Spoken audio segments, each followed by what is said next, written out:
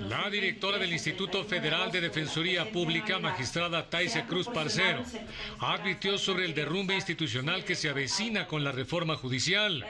Al encabezar el Encuentro Nacional de Discapacidad 2024 en el Instituto de Investigaciones Jurídicas de la UNAM, indicó.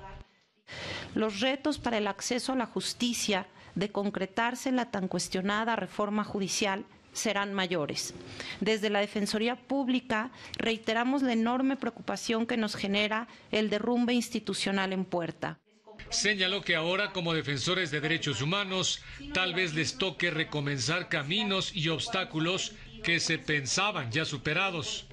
Hago votos para que los, lo enfrentemos con la fuerza y la convicción de que la razón que se funda en la defensa de los valores mínimos de nuestra democracia, como son la igualdad y la no discriminación, al margen de las mayorías autoritarias que hoy nos gobiernan, encontrará la manera de prevalecer.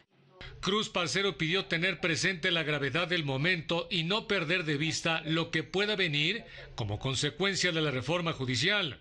Por otra parte, María Fernanda Pincus Aguilar, subdirectora general para el fortalecimiento de los derechos humanos de la Suprema Corte de Justicia de la Nación, acusó que se habla del modelo social de personas con discapacidad, pero que aún falta mucho para aterrizarlo en lo material.